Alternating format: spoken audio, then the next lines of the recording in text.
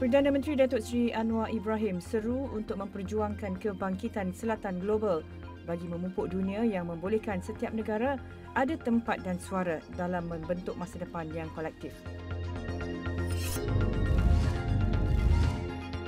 Datuk Seri Khairui Anwar Hassan akan memberikan kenyataan kepada Suruhanjaya Pencegahan Rasuah Malaysia SPRM hari ini susulan laporannya berhubung salah laku membabitkan bekas pegawai negara Tan Sri Muhammad Apandi Ali.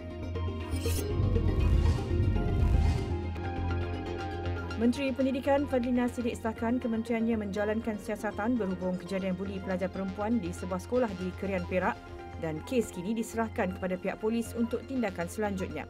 Ikuti liputan berita dan analisis penyeluruh setiap hari di saluran 501 dan astroawani.com.